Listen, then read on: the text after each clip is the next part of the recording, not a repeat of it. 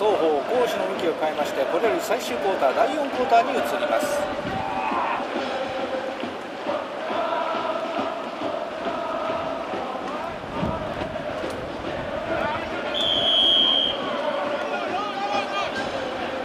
さあ大阪系フォースタン2ギャンブルを敢行します。さあ中央いった。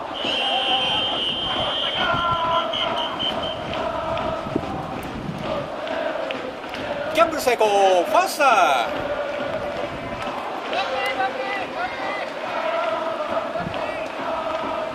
ここで大阪府警はクォーターバックスニーク。QB 自らが中央密集点に突入するプレーを敢行しました。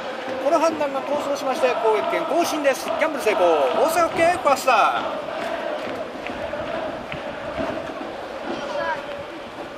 さあ攻撃継続になりました大阪府警。ボールオン自陣36ヤードからファーストダウンテ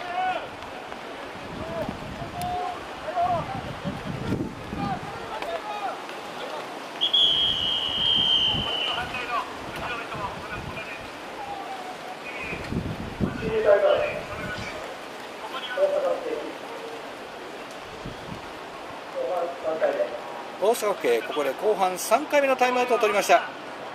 先ほどのクォーターの終盤間際に一度、えー、インターバルありましたがここがタイムアウトだった模様です。従いましてこれが大阪府警最後のタイムアウトとなります。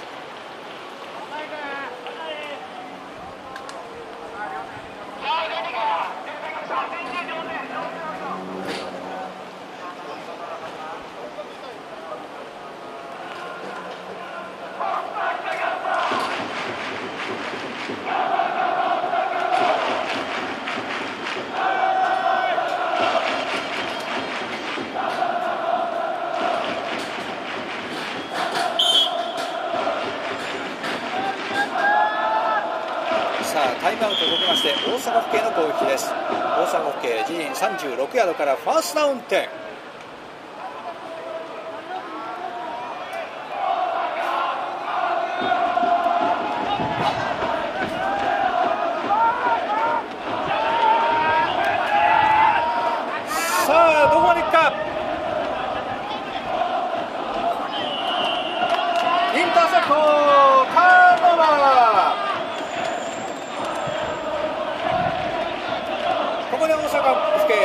より状況打開を図りました。しかしそのパスを取りましたのはクラブベアーズ。インターセプトにより攻守交代となります。ターンオーバー。攻撃権変わりましてクラブベアーズに攻撃変わります。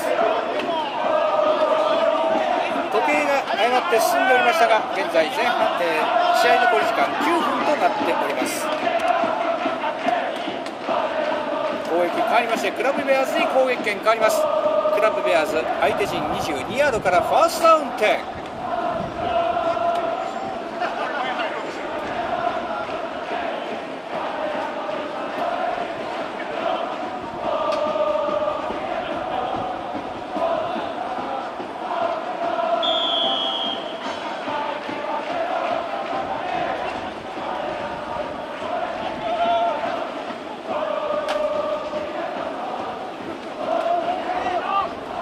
パス成功クォーターバック。6番左に展開したランニングバック。12番にフレアパスを通し12番キャッチアンドラン。ヒットを受けながら前進しまして約2ヤードゲインとしています。タフなキャッチアンドラン決めましたのは12番の小田でした。小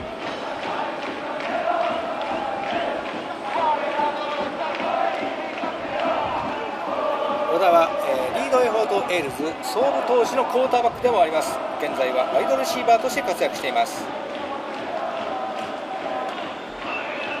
クラブウェアーズセカンドダウンセブン。さあ今度はその小田に託しまして中央のワンプレー密集点突破を図らせますがこれはゲイン1ヤード。サードダウンに変わります。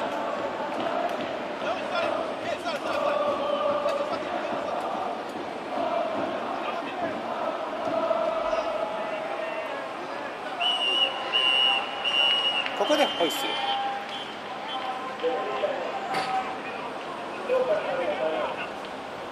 傷者が発生したためレフリータイムアウトが入ります。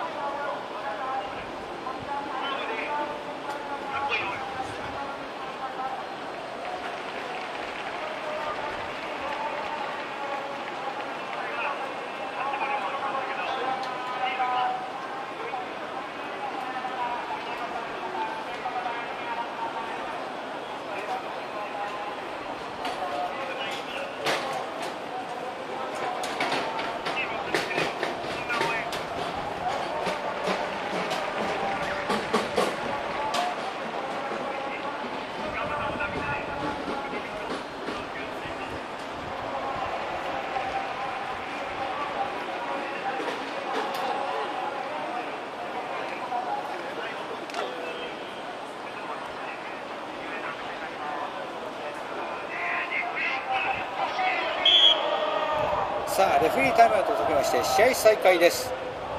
クラブベアーズファースサーダウン6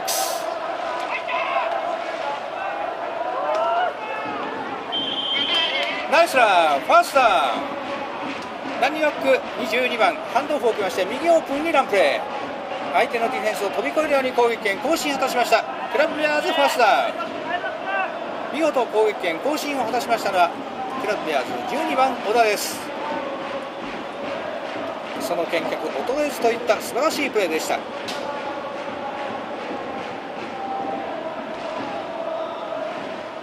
クラブベアーズ相手陣6ヤードからファーストダウン2ゴー。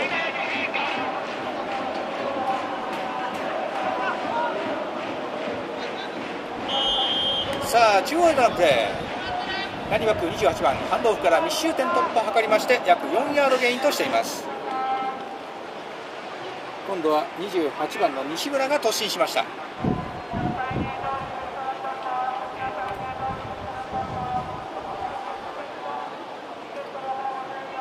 クラブウェアーズセカンドアウントゥーゴール残り2ヤード。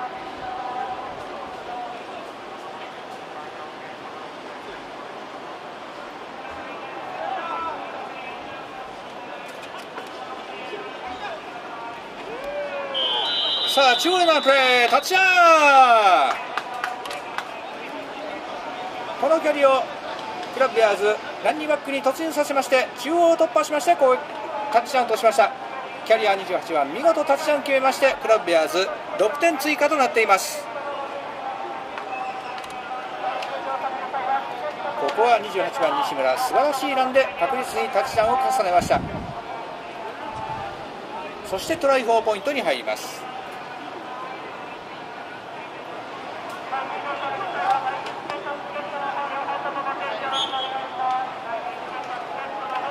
このキック決まりまして1点追加クラブウェアーズ28点大阪府警シールズ0点となっております。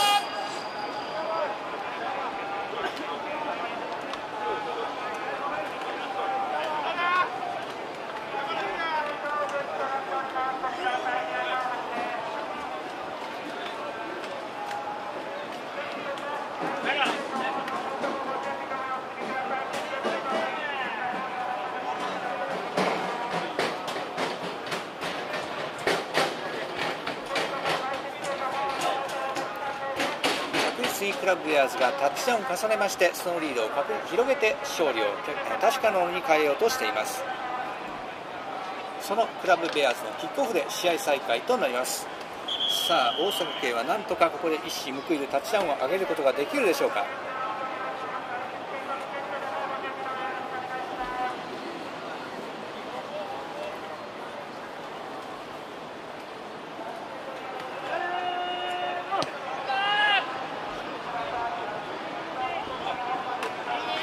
ターに入ります。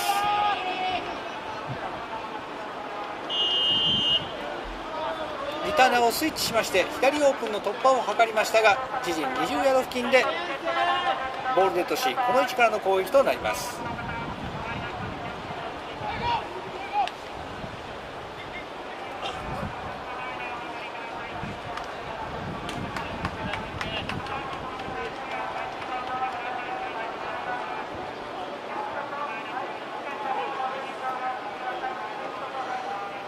大阪府警自陣21ヤードからファーストダウン10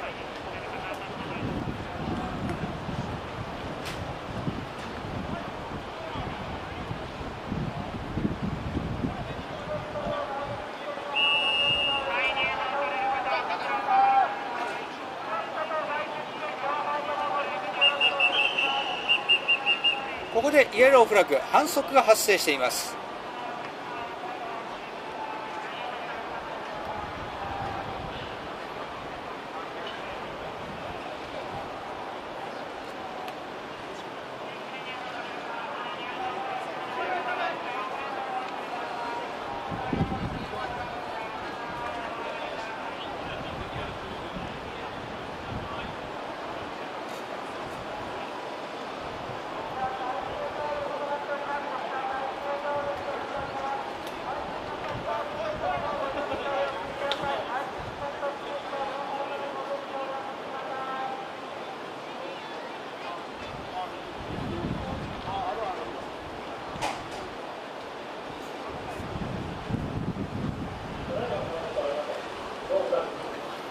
先ほどのプレー反則はありませんでした。通常のプレーとしてこれより再開となります。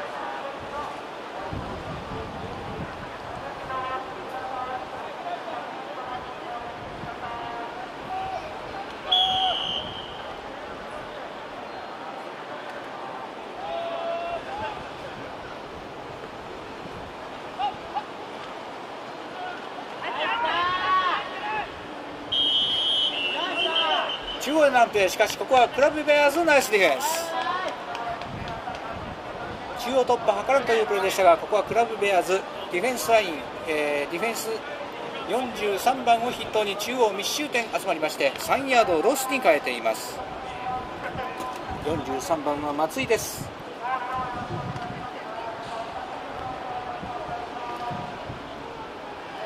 大阪府警セカンドダウン13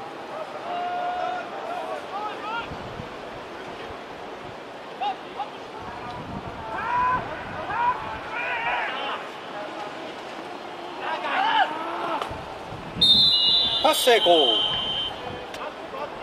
右に展開したランニングバック22番にフレアパス。そこから右オープンをつかせる形でキャッチアンドランを図りましたがしかしゲインはほとんどなくサードダウンに変わります。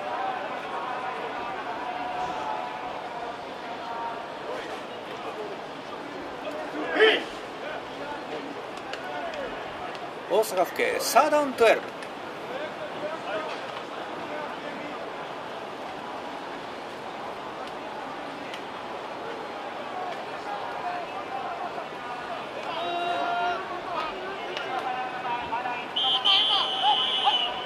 ここでホイッスル。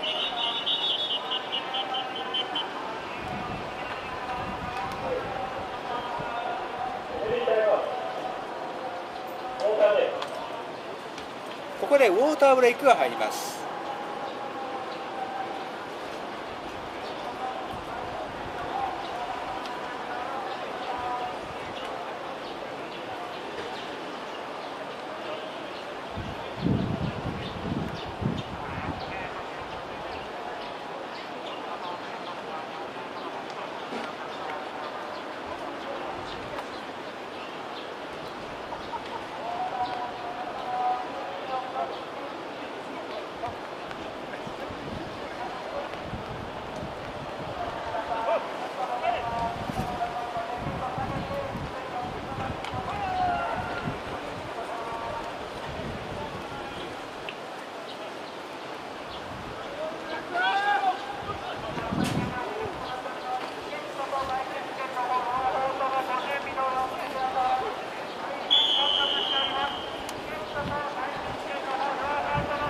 ウォーターブレイクを起こらして試合再開となります。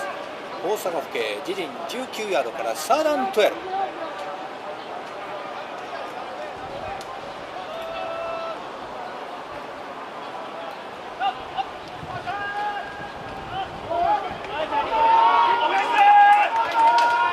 さあインターネットセットしているどこまでいくか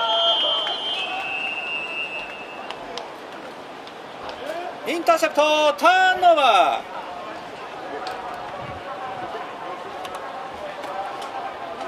ここで大阪府警パスプレーによって状況を打開図りましたがそれを取りましたのはクラブベアーズのディフェンス陣。インターセプトにより攻守交代です。ターンオーバー。しかもこのリターンエンドゾーン1ヤードまで迫るビッグリターンとなりました。これによりまして相手陣1ヤードからクラブベアーズファーストダウンの攻撃に入ります。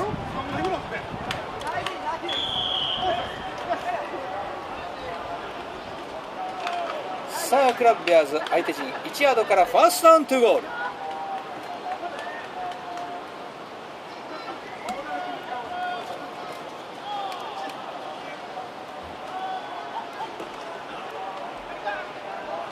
中央のプしかしここは大阪府警踏ん張ります。ノーゲインでセカンドダウンに変わります。さすがにここは一発で進めたくないと大阪府警踏みとどめました。さあセカンドダウン2ゴールに変わります。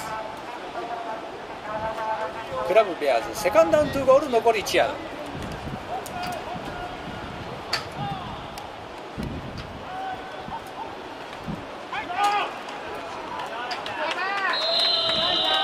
中央のランプレータッチダウン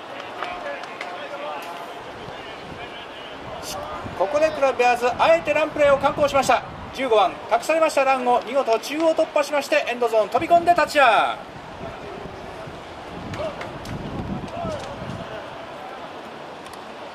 クラブベアーズタッチダウンによりまして6点追加となっております。見事そのタッチダウン決めましたのは15番の、えー吉本でした。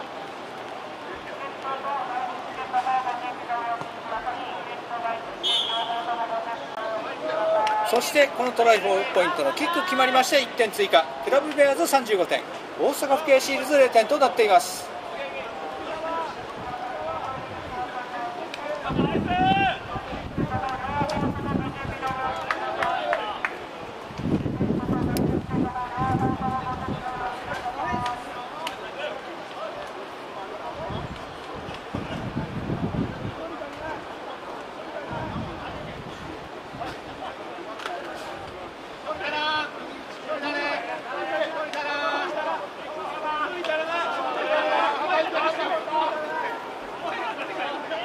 さあ得点差変わりましてクラブベアーズキックオフで試合再開となります。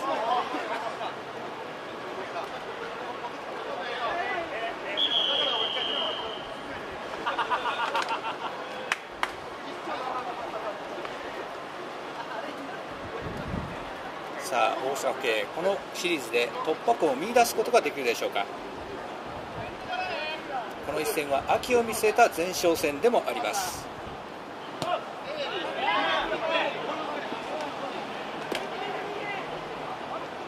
さあ大阪府警リターンに入った。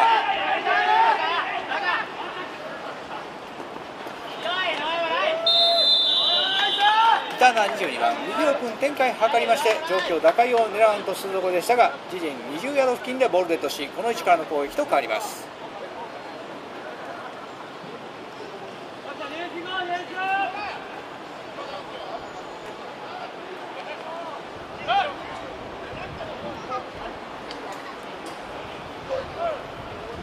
ラブベアーズ自陣17ヤードからファーストダウン10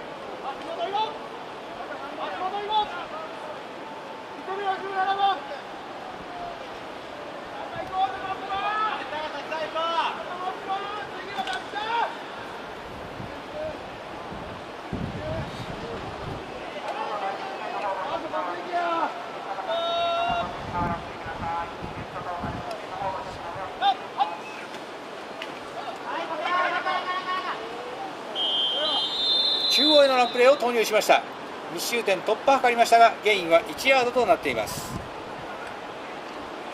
大阪府警セカンドダウンに変わります。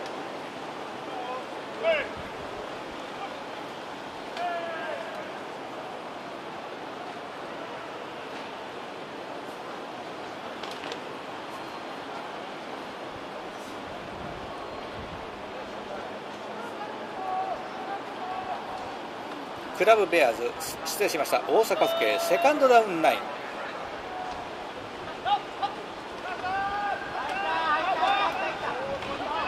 これもクラブベアーズナイスディフェンス。再び密集点の突破を図ろうとしましたがこれはクラブベアーズ、えー51番さらに56番が対応しましてこのがランプレーを逆に4ヤード押し返す形に成功しています。51番が僕井56番が上浦でした。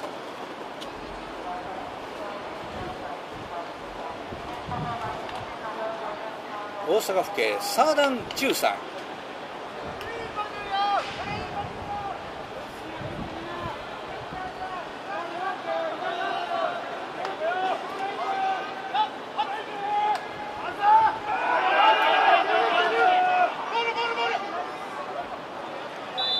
クォーターバック4番 QB ドローで状況打開を図りました。中央突破し自らの見脚で状況打開を図らんというところでしたがしかし攻撃権更新にはなっておりません。フォースダウンに変わります。しかし果敢なランを展開しましたのは大阪府警4番の角でした。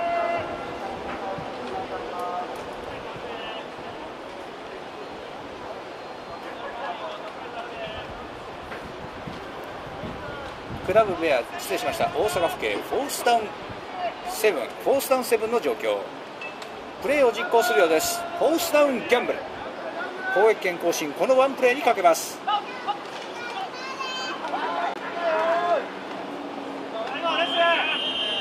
さあランプレーによる突破を図りましたがしかし攻撃権更新には至っておりません。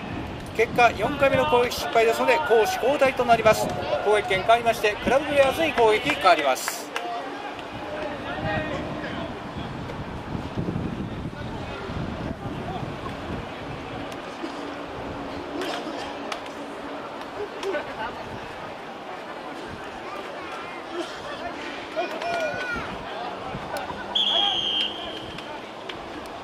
攻撃権変わりましてクラブベアーズ相手陣23ヤードからファーストダウン点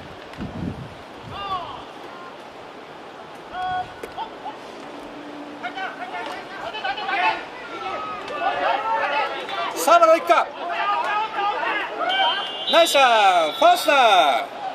ランニングバック45番ハンドオフを託されまして中央突破そのまま勢いに乗りまして一気にエンドゾーン2ヤード当たります。ビッグビッグランで攻撃権更新です。クラブベアーズファーストダウン見事力強いランで攻撃権更新なしましたのはクラブベアーズ45番川端。さあこれにより相手陣2ヤードからクラブベアーズファーストダウン2ゴールとなります。クラブベアーズファーストダウン2ゴール残り2ヤード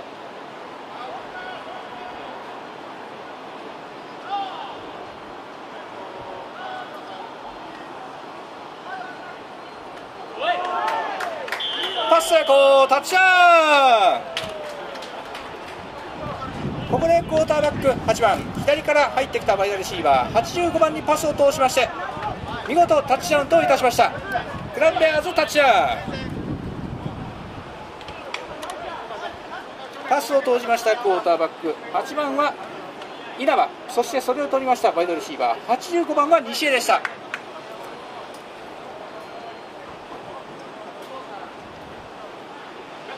クラブベアーズトライ4ポイント。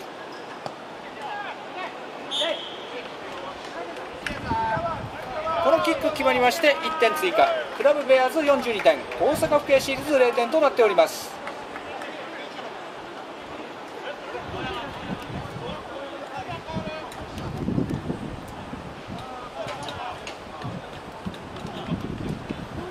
さあ試合も残り時間1分を切ってまいりました。クラブベアーズのキックオフで試合再開となります。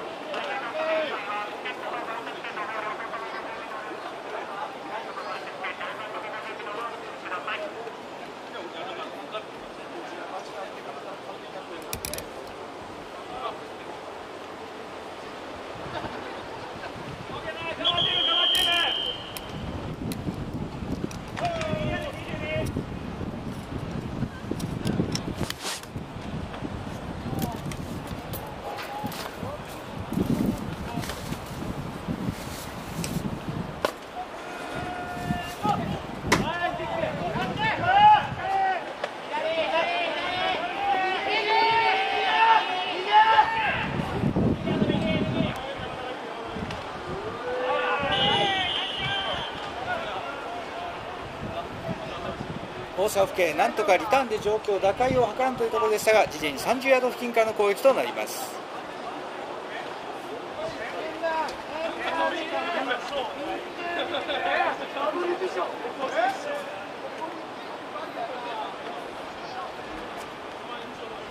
大阪府警事前に31ヤードからファーストダウン点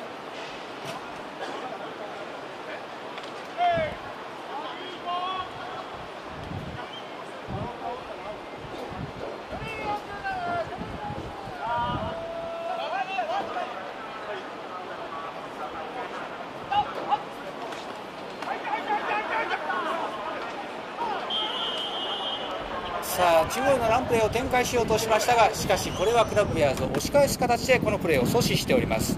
セカンドダウンに変わります。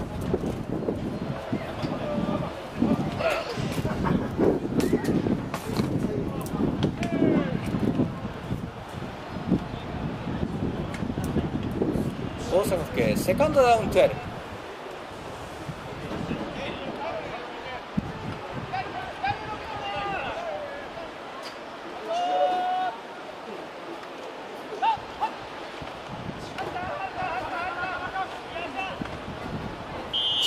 12番手を投入しました。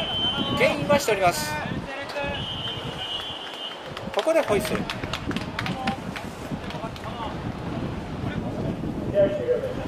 ここで試合終了となりました。試合終了となりましてクラブベアーズ42点大阪府警シールズ0点クラブベアーズの勝利としてこの交流戦終了となりました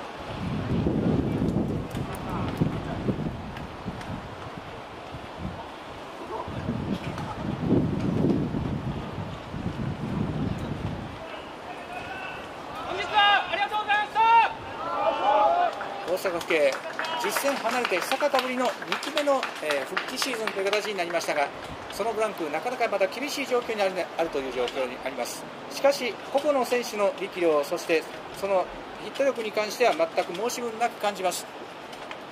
秋のシーズンが楽しみになるそのような一戦になりました。ナイスファイトでした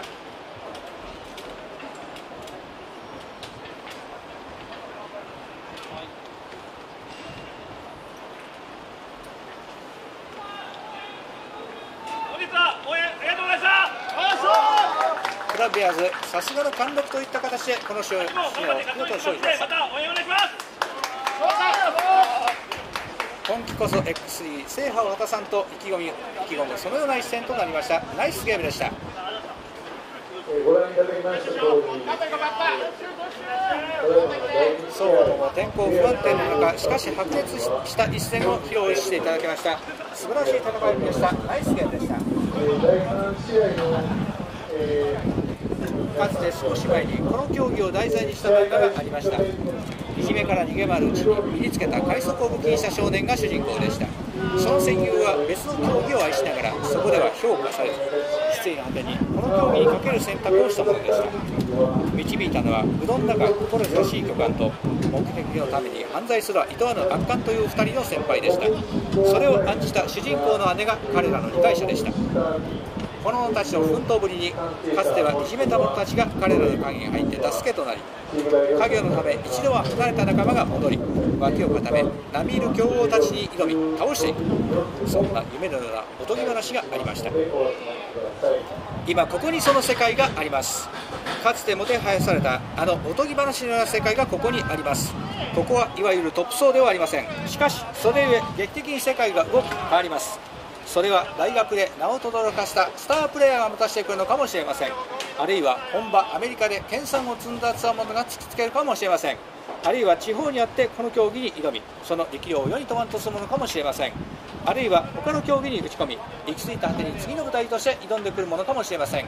あるいはとにかくあの物語に憧れあの物語の登場人物になりたいと勇気を出すものかもしれません。あるいはあなたかもしれません。